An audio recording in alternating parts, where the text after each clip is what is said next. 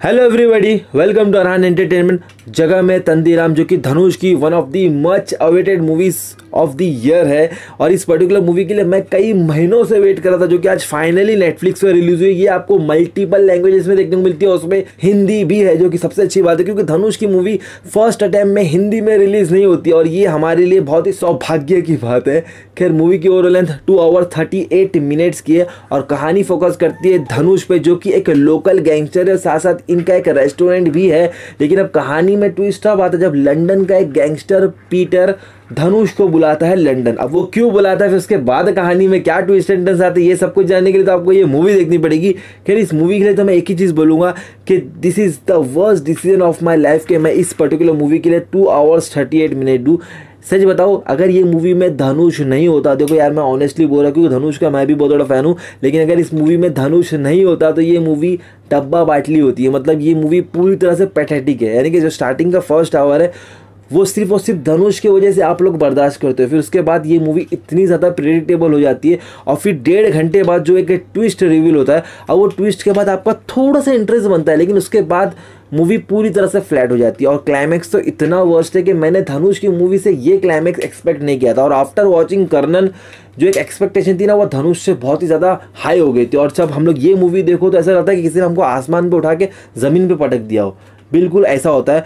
Movie का execution बहुत ही ख़राब लगा और ये जो डायरेक्टर है कार्तिक सुब्बराज, यार मेरे ख्याल से अब उनको डायरेक्टर छोड़ना पड़ेगा यार। उनकी जितनी भी मूवीज़ है प्रीवियसली सबके सब एक से बढ़कर एक पैथेटिक लगी मुझे। और आई वॉज़ वेरी अपसेट कि धनुष ने उनकी इस पर्टिकुलर मूवी को साइन कैसे किया। और यार मूवी रिलीज़ होने से पहले इस मूवी को लेकर जो एक हाइप क्रिएट हुई थी या ऐसा खबरें भी आ रही थी कि धनुष नहीं चाह रहे थे कि ये मूवी ओटीटी पर रिलीज़ हो, मुझे नहीं समझ में आ रहा था कि उन्होंने ये बात क्यों कही? क्योंकि अगर थिएटर में रिलीज़ होती तो सिर्फ़ और सिर्फ़ धनुष की वजह से तीन दिन कलेक्शन होते, उसके बाद ये मूवी का कलेक्शन बिल्कुल भी नहीं होता। और साठ करोड़ में अगर नेटफ्लिक्स वालों ने इस पर्टिकुलर मूवी को खरीदा है तो बहुत बड़ी बात है, क्योंकि अगर शायद ये मूवी थिएटर में रिलीज़ होती तो सौ करोड़ से ज़्यादा नहीं कमाती। वो भी सौ करोड़ में इसलिए बोल रहा है क्योंकि धनुष की जो पॉपुलैरिटी है साउथ में वो बहुत ही ज़्यादा और सिर्फ़ उनकी वजह से होती है, लेकिन थैंक गॉड ये मूवी रिलीज़ नहीं हुई, क्योंकि ये वन टाइम वॉच भी मुझे नहीं लगी। डेढ़ घंटे में मैं ये मूवी को लेकर पूरा बोर हो गया था, लेकिन मैं फिर भी ये मूवी को कंटिन्यू करा। दो रीज़न थे। एक तो इसका रिव्यू करना था और दूसरा रीज़न ये था कि मैं धनुष सर की कोई भी मूवी को नहीं छोड़ता यार। मुझे बहुत उनका एक जो करिश्मा बहुत ही अलग है और वो इस मूवी में हमको साफ़ नज़र भी आता है। और सिर्फ़ और सिर्फ़ धनुष एक बंदा है जो कि इस पूरी मूवी में शाइन होते हुए नज़र आता है। उसके अलावा जितने भी जो एक्टर्स है मतलब उनके कैरेक्टर में भी मुझे दम नहीं लगा, ना ही कहानी में दम लगा। और मूवी की जो एडिटिंग है, वो बहुत ही वाहियात है। दो घंटे अड़तीस मिनट की ये मूवी डिजर्व ही नहीं करती। ये मूवी ज़्यादा से ज़्यादा दो घंटे पाँच मिनट की होती तो बहुत चलता है। यानी कि बीस से पच्चीस मिनट आपको ये मूवी ड्रैग होते हुए नज़र आती है। लेकिन यस मूवी की सिनेमेटोग्राफी अच्छी है बीजेम ऑसम है। और धनुष के परफॉर्मेंस की बात को तो यार, मान गए उस्ताद।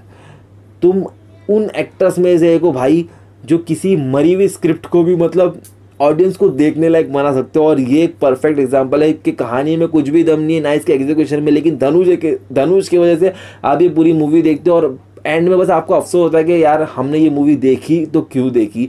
और बाकी जितने भी सपोर्टिंग एक्टर्स हैं, सब लोगों ने अपने हिस्से के रोल को अच्छी तरह से निभाया। लेकिन पेरेंटल गाइडेंस के लिए इतना ही बोलूँगा कि ये ये मूवी आप अपने घर वालों के साथ बैठ के देख सकते हो, क्योंकि इसमें एडल्ट सीन तो कुछ नहीं है, लेकिन हाँ वायलेंस के सीन्स है तो आप थोड़ा बहुत आप लोग मैनेज कर लो। अगर आप लोग के घर में एडल्ट है तो देखो, बच्चे हैं तो वो वायलेंस के सीन्स थोड़ा अवॉइड करना। मैं इस पर्टिकुलर मूवी को रेटिंग दूँगा two star out of five तो मेरे हिसाब से it's not a watchable movie but अगर आप लोग धनुष के फ़ैन हो तो यार ज़रूर चेकआउट करना एक बार। लेकिन अगर आप उसके फ़ैन नहीं हो, आप एक अच्छी साउथ की मूवी देखना चाहते हो you will be disappointed like me तो यार बस मिलते हैं नेक्स्ट वीडियो में। दिल बाय